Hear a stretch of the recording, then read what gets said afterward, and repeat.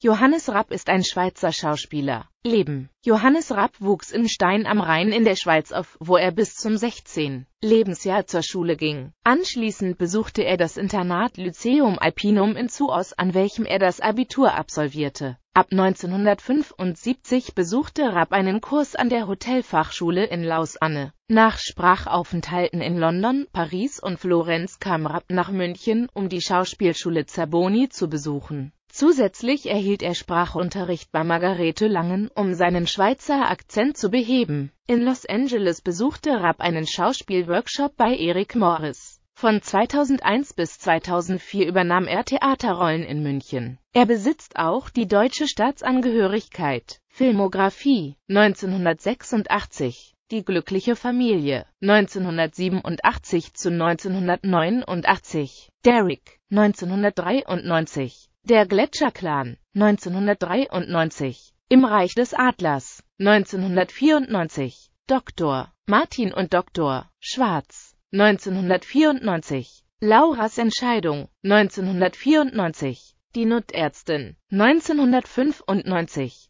Tatort Tod eines Auktionators (1997) Liebling Kreuzberg (1998) Ein Fall für zwei (1999) die Wache (1999) Lindenstraße 2000 Kleiner Mann sucht großes Herz. 2000 Nicht mit uns. 2001 Rosarot. 2002 Der Teufel, der sich Gott nannte. 2002 Tabave 2002 Der Todesengel. 2003 Barbija 2003 Schlosshotelort. 2005 Marienhof. 2005 Polumgla 2006 Die Zeit, die man Leben nennt. 2008 Soko 5113 2009 Rosenheim Korps. 2009 Forsthaus Falkenau. 2009 Krupp eine deutsche Familie. 2010 Mord in bester Gesellschaft. 2010 Die Rosenheim Cops um ein Haar